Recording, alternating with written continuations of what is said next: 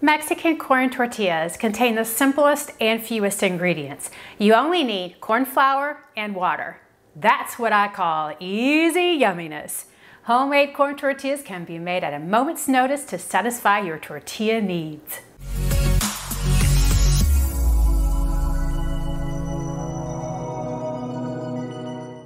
Centuries before Christ, the Mayans in Mexico and Central America domesticated the edible type of corn we eat today. Corn was so important to the Mayan civilization, it was believed there was a maize god and humans were originally made of yellow and white corn dough. Hmm, ponder that one for a moment. The Aztecs, beginning in the 14th century, dried that domesticated corn and ground down the whole corn kernels into cornmeal. They learned that soaking the corn kernels in lime solution softened them to where the hard external kernels could be removed, thus producing a softer final flour or masa. In the early 16th century, the Spanish conquistadors came to the Americas looking for gold. In a way, they found it. It just so happened to be in the edible form of corn from the Aztecs. For my easy Mexican corn tortilla recipe, you'll need masa harina, which is corn flour seasoned with lime, salt, and water. In a large bowl, we're to whisk together 246 grams of masa harina, which is about two cups, and then uh, one teaspoon of salt. Now, if you want a little extra flavor, sometimes what I do to this recipe is I'll add one teaspoon of cumin and one teaspoon of chili powder. The seasonings are just nuanced, they're not very strong. But if you want just put cheese on it, make it sort of like a quesadilla of some kind, it's great to have a little extra flavor in that dough, right? But we'll go simple today, so we won't add the extra seasoning.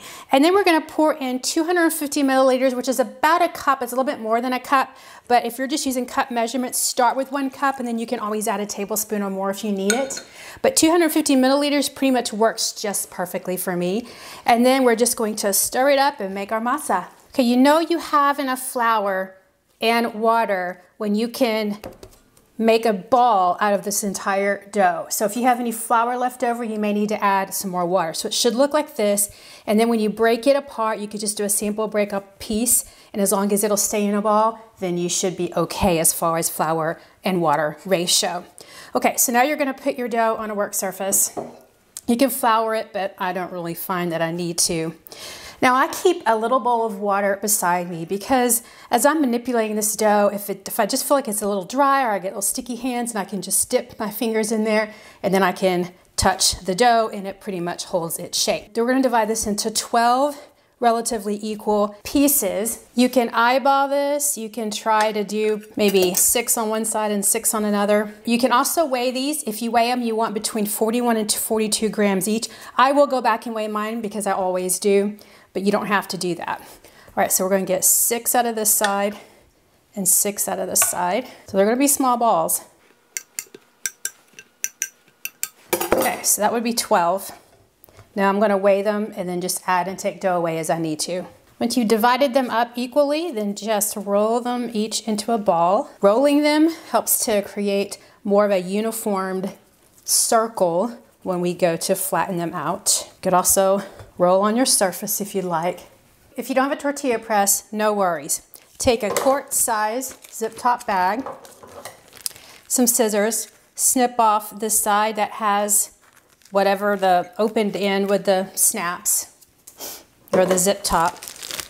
All right, and then you're gonna cut two of the other three sides and I'm just gonna leave one of the sides intact and just snip all the way down to the end and then cut the end over to the side just like that. All right, so then you take one dough round, place it in the center of one open side, fold the bag over along the crease over the top, take a flat bottom dish, something, a bowl will be fine, or just a casserole dish, Place it on top of the dough, press down firmly as much as you can. So it's a little bit smaller tortilla than we want. So I like to go all the way around, increase the pressure, and sort of rock my container back and forth so I can get all of that dough spread out. We're looking for about a six inch in diameter circle for these corn tortillas.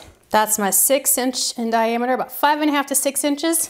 I think that's good enough. If you're not happy with your flattened out, you can always just take a rolling pin and go back over it and flatten it just a little bit more. And then there you are. So then when you're ready to put it in the skillet, you just remove the plastic from the top, remove it from the bottom, and your tortilla is perfect for the skillet. Go ahead and preheat a skillet over a medium-high heat on the stove. Get a heat-proof platter or plate and two pieces of foil, one to put on the plate itself. We're gonna stack our tortillas as they cook on top of the plate. And then we're gonna add another foil on top of that as they cook. Your skillet is hot enough to cook the tortillas when you can add a splatter of water and it sizzles. So we're gonna take that first tortilla that we flattened out Go ahead and in the dry pan, put that tortilla. We're gonna let cook for about 45 seconds to a minute. The first one might take a little bit longer just because, again, that pan needs to get really, really hot. And then we're gonna flip it. While one tortilla is cooking, we're gonna go ahead and flatten out the next one. So just as we did before, take your round center of one side of the bag, cover it with the top, press down with your flat object, and then rock it around to keep that round circle, but also to stretch it out looking for that six inches in diameter. Keep an eye on your tortilla that's baking. When it gets some brown spots, the first one may not have so much. Go ahead and flip it over and then continue working with your other tortilla. When your tortilla has cooked through, ours are definitely dry on top and bottom, then place it on the plate with foil and then top it with another sheet of foil to keep it warm. And we're gonna add our second tortilla Again, just take off the top plastic. Remove the bottom part of it. Put in the pan. Move on with the third one. When these cook, they should be soft and foldable. So if you find that yours are hard and crunchy, that means your heat is too low. So raise your heat. If you find your tortillas cooking through too quickly and you're getting dark brown spots, then you should probably turn your heat down. Notice we're getting some nice, good brown spots on our tortilla. So our heat is just perfect at the moment. Cooking my last tortilla. I can keep them on the plate covered in foil. They are still hot. Steam is still coming out from the top. But if you want longer storage, because it's gonna be longer before you eat, just put this on a heat-proof plate in a 200 degree oven and those tortillas will stay soft and warm. And they're staying soft and warm now between the two pieces of foil. Corn tortillas all cooked, baked, and ready to eat. So let's take a closer look. You wanna make sure that they don't cook too hot we want to make sure that we can fold them just like you would a taco. Perfect taco right there. Let's take a look on the inside. Notice it tears nicely. You'll notice that this corn tortillas are grainier than a flour tortilla because the cornmeal is denser, but it did cook through. It cooked all the way through. There's no gumminess, there's no doughiness whatsoever. And I love how you can get the brown on the top. It's a beautiful stack of corn tortillas. Use corn tortillas in any recipe that calls for them or eat them as is. Use them in enchiladas, fajitas, quesadillas, tacos, taquitos, tostadas, or whatever you want. I personally like to add a little cheese or vegan cheese on top, sprinkle on a little cumin and chili powder, and heat in the microwave until cheese melts.